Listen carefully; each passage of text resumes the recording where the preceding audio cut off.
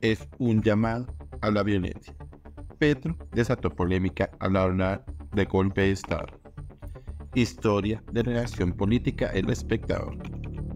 Luego de señalar que algunos sectores se habrían organizado para sacarlo del poder y hacer un llamado a la lucha popular, el mandatario fue objeto de críticas de varios políticos de oposición e independientes.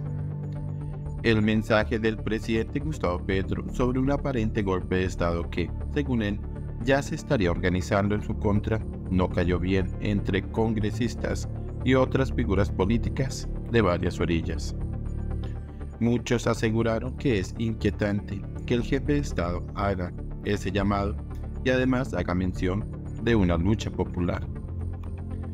Se han organizado para dar el golpe de Estado. Lo anunciado se desarrolla.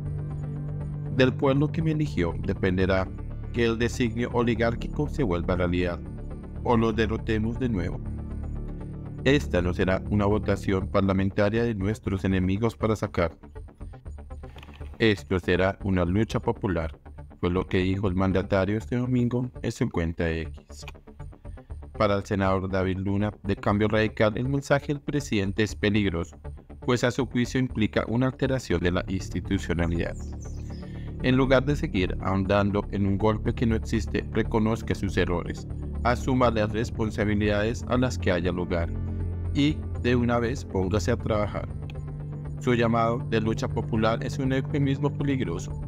Su llamado es un llamado de violencia, a la alteración de las normas y eso no lo vamos a permitir, dijo el congresista. También desde la oposición, la senadora María Fernanda Cabal del Centro Democrático dijo que se trata de una respuesta a la reanudación del proceso contra la campaña del mandatario en el Consejo Nacional Electoral CNE. Petro cada vez que denuncia la violación de topes electorales en su campaña sale a inventar golpes de Estado, aseguró. En un sentido similar se pronunció la representante Catherine Jubinado de la Alianza Verde. Si la justicia investiga a Álvaro Uribe, qué bueno.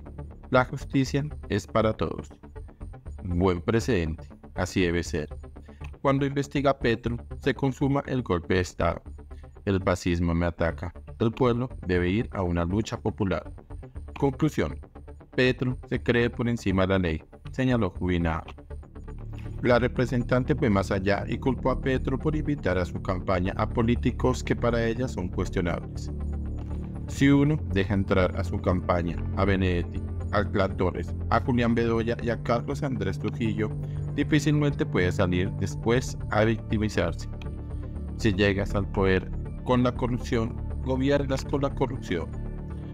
Lo demás son pataletas, explicó en un mensaje X. Por favor, presidente, en lugar de victimizarse, buscar complots donde no hay, dividir a la sociedad en bandos, buscar culpables sin asumir responsabilidades es recomendable gobernar, gestionar y ejecutar.